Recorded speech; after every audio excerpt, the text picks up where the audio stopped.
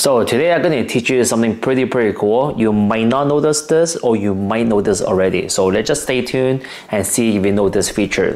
So right now we're going to go into the Wi-Fi session and we're going to hold this button right there. And then at the bottom here, we're going to go into details. Okay, we're going to go right into details.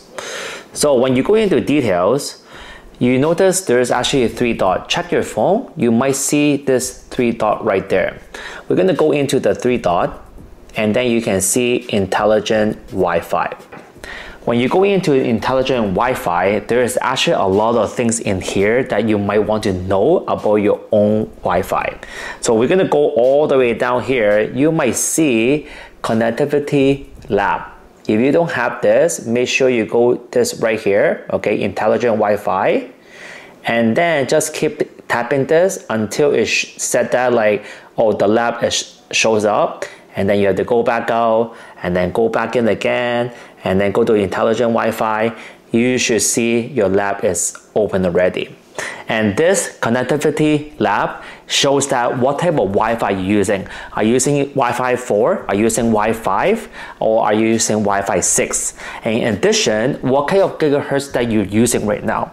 So we're gonna go in there and then we're gonna tell, we're gonna see that if you go right here, it shows you how many hours you've been using the Wi-Fi. But if you go down right down here, it shows you so much details about your own Wi-Fi. It shows that how many minutes that you're using the gigahertz, how many minutes you're using the 5 gigahertz and 6 gigahertz.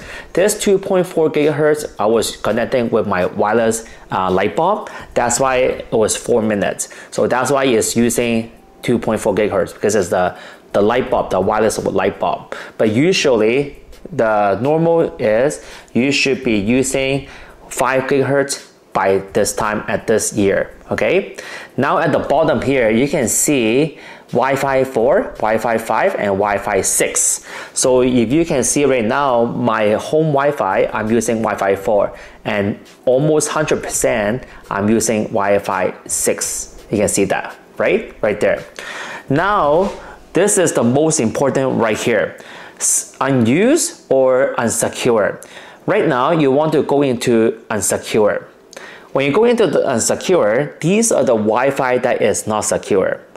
That means that they can hack your system if you actually do not protect your Wi-Fi. I'm going to show you later how you're going to protect your Wi-Fi when you're in the public.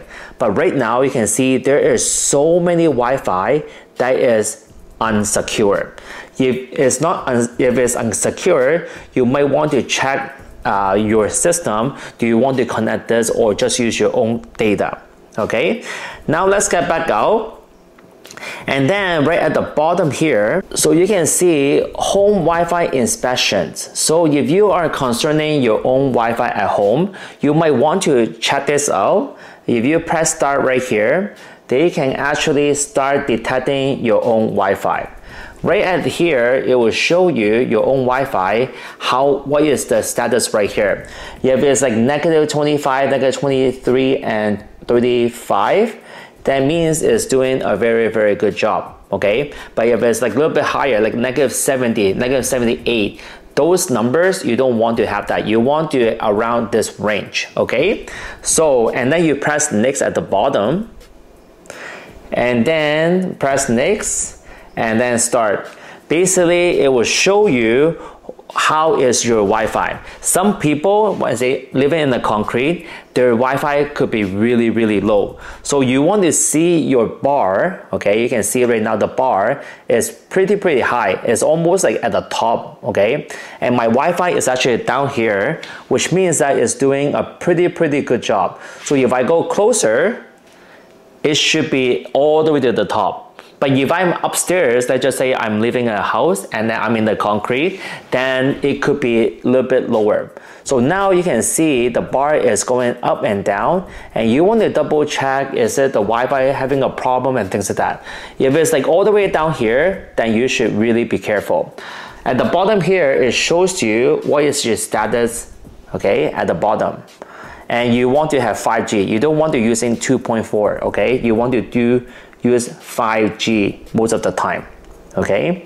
And this is how you can tell if your Wi-Fi is solid are you paying for good Wi-Fi or are you paying with a really, really bad Wi-Fi? So you want to check this out. And this one can go forever if you want. If you want to take a look this look at this for like maybe five minutes, 10 minutes, this won't stop. It will just keep on going and going and going. And you can walk around the house and see which where, uh, where in your house has a dead spot. You want to check that out. Okay?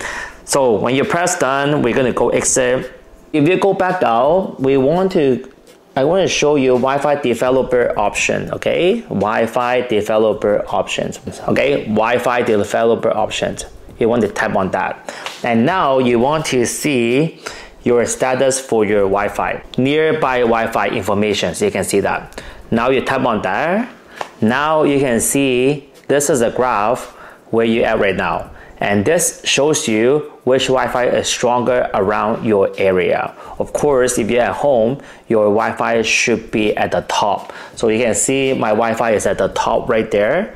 And then you can see by the, uh, if you tap your own, so you can see is the best. You see the dot right there? That means it's part of the best. And then now you can see, just look around and see which area has the best Wi-Fi. Okay, and that's it. If you're in the public, this is actually pretty good information to know. If you haven't subscribed my channel yet, please do so and I hope this video helps you to identify are you using a good Wi-Fi or not. Stay tuned for my next video. Thank you very much and have a nice day. Bye bye. Peace out.